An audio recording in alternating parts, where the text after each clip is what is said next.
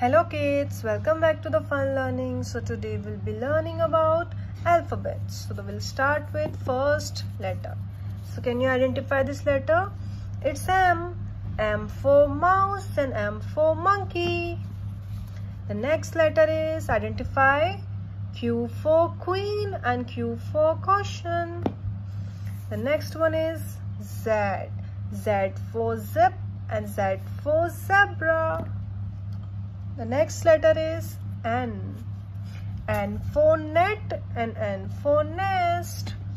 The next letter is letter A. A for apple and A for airplane. The next one is L.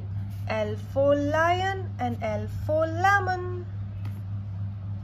Can you identify this letter? It's G. G for gun and G for grabs.